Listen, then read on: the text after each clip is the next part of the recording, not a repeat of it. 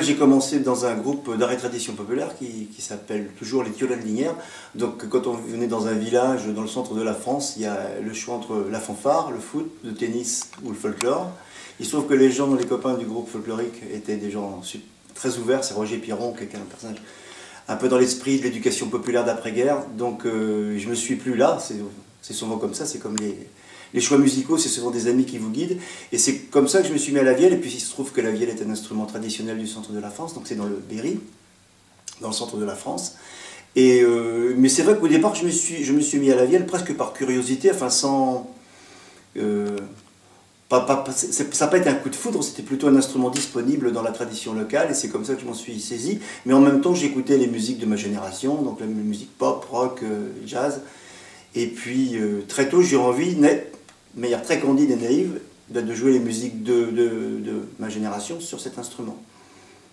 Donc il y a un mélange, de, je jouais la musique traditionnelle qui était, pour moi la musique traditionnelle c'était un peu la musique de la famille, quoi. il y a un petit côté comme ça, c'était, ou la musique des amis. Quoi. Et puis il y a les musiques qui me faisaient rêver, qui étaient des musiques euh, plus anciennes ou plus lointaines. Et voilà, et puis ça m'a, quelques années après, voilà, je suis là à en faire effectivement mon, mon, métier à travers les rencontres et à travers les différents projets que j'ai pu produire.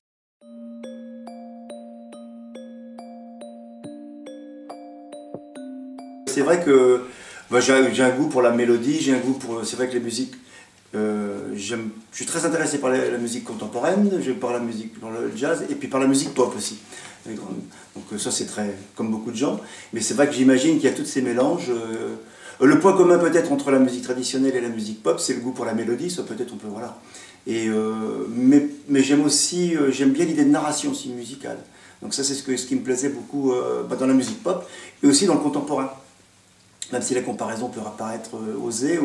moi, je retrouvais ça, je Et j'aime bien aussi, euh, alors je cherche pas à tout prix à faire des ponts entre le traditionnel et les autres musiques, mais peut-être le goût du, euh, de l'objet sonore. C'est-à-dire que dans le, dans le traditionnel, il y a, on a des instruments qui ont un, timbre et un caractère très fort. Et, en travaillant avec Donjon de la pop musique, justement, je me suis aperçu, c'est toujours le regard de l'autre qui donne des informations sur soi-même, il y avait ce goût, cette fascination pour un instrument comme la vielle ou comme la cornemuse ou le doudouk, pour un, sur des instruments qui ont un timbre, une personnalité intrinsèque très forte. Et, moi, ces émotions-là, je les retrouvais dans, dans, certaines pièces contemporaines, ce goût pour des, des, des, des chocs de matériaux euh, sonores. Euh, et, euh, aussi le fait de jouer sur un bourdon, la notion de justesse et de fausseté. Alors, on part, du principe que le, le bourdon est accordé, et puis que l'échelle sur laquelle sur laquelle on joue, on l'a choisi. Je ne veux pas parler d'échelle juste, mais une échelle choisie en tout cas. Euh, mais du coup, les intervalles, pour moi, une seconde, ça me choque pas. Un intervalle de seconde, ça me heurte pas. Et, c'est vrai que quand j'écoutais la musique contemporaine, c'est marrant, ça me, ça me heurtait pas. J'ai des copains qui écoutaient ça, ils disaient mais Comment tu peux écouter ça? C'est vraiment, c'est super dur à écouter. Bon, c'est juste une histoire de tension et de, de détente, mais voilà. Et je trouve qu'en musique, dans la musique populaire, on a cet effet-là aussi. Voilà. voilà la petite analyse que je peux produire avec le recul. Sur ce que, je peux, ce que j'ai produit.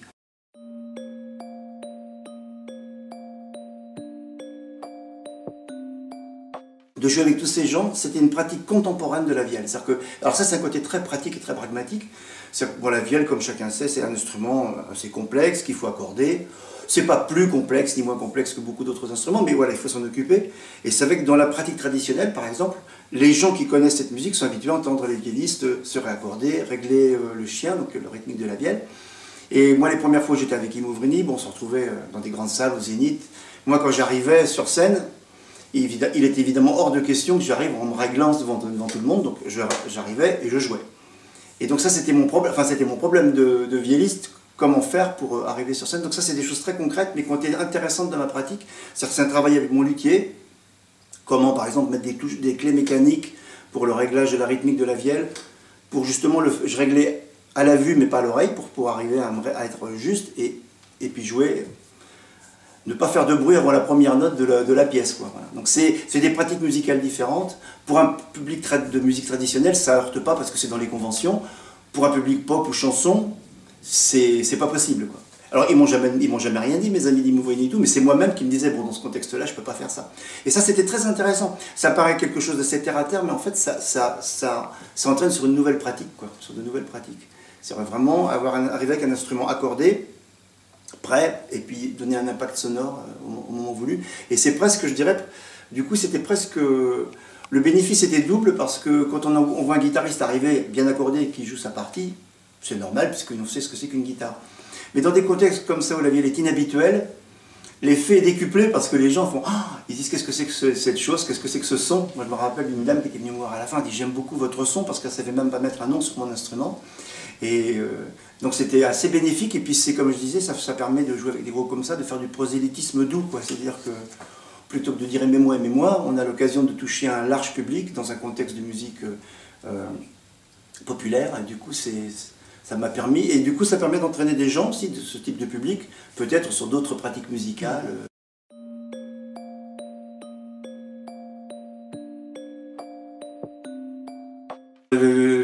Valentin était très important comme bon, c'est quelqu'un qui a en fait Valentin c'est Valentin Clastrier donc c'est quelqu'un qui a inventé des choses ou réinventé des choses mais en tout cas des choses qu'on avait perdues et il les a réinventées donc c'est des outils techniques très précis c'est un, lexique c'est un, vocabulaire technique sur l'instrument donc c'est, moi, je, à une époque, je me disais justement, j'étais gamin, je me dis, bon, j'ai envie de jouer d'autres musiques à la vielle, mais je ne sais pas comment m'y prendre. Donc j'étais à deux doigts d'arrêter la vielle pour jouer d'un autre instrument. Voilà. Et quand j'ai entendu Valentin, lui me fournissait les outils pour faire la musique dont je rêvais.